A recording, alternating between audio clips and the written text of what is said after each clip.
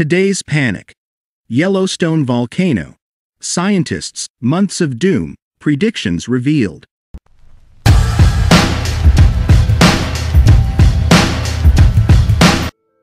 Yellowstone geologist Robert Smith warned that, if a supervolcano erupted, the devastation from the initial impact could last up to a month, a documentary about some of the world's deadliest volcanoes revealed.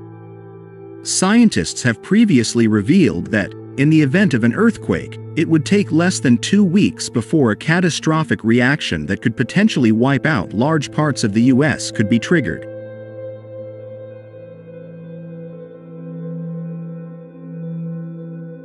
However, even if local residents managed to escape the initial blast, they were still in danger for up to a month afterwards, it emerged.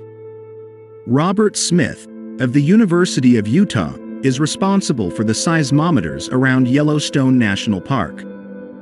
This technology is designed to detect any changes in activity and give anyone nearby valuable time to evacuate.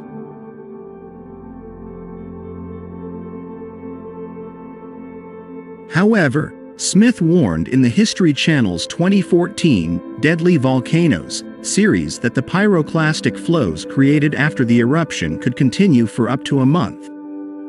He said, What Yellowstone is going to create is a huge amount of material. This will continue for days, weeks, even months, destroying all surfaces and rocks in its path.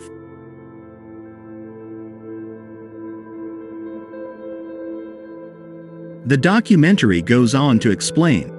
Much of the US will be covered in thick ash capable of collapsing buildings and suffocating people. The power of this gas and ash storm is about to explode. Towering columns of ash will rise up to 25 miles into the atmosphere. This would block sunlight across the planet. Temperatures would drop, crops would fail, and millions of people would starve to death. Yellowstone's latest eruption produced about 2,500 times more volcanic material than the 1980 eruption of Mount St. Helens.